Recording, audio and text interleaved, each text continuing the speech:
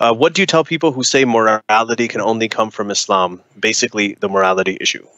Morality can only come from religion. We we have discussed this Oh a my lot. I think we even, All right. we even have an episode on it. First of all, if you look at Islamic scripture and uh, you look at a lot of the stuff that's in there about killing infidels, what it says about Jews and Christians, making them pay a tax or convert, otherwise you keep on fighting them. I- the treatment of women, all of that. I mean, there's nothing moral about uh, any of these. There's nothing moral about uh, believing something without evidence. Just just tell, ask him for the Yeah. ask him for an example. Be like, tell me, give me one example of morality that comes from Islam that can't come from anywhere else. Just ask him for a single example.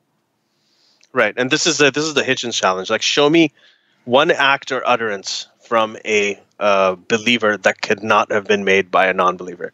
Right. Act a, a good act, a moral act. So anything that they say, give from giving charity to treating orphans nicely to all of that stuff. Everything that religious people do, Right. non-believers do But as well. on the other But- side, if there's Exactly. a lot of examples of evil that you could get from religion that you don't get from anywhere else.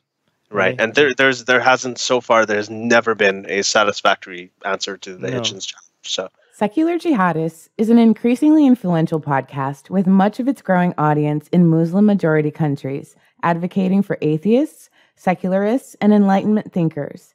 We want to reach out to more people.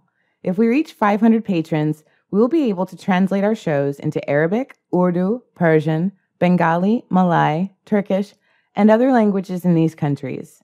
Help us get there at patreon.com slash SJME.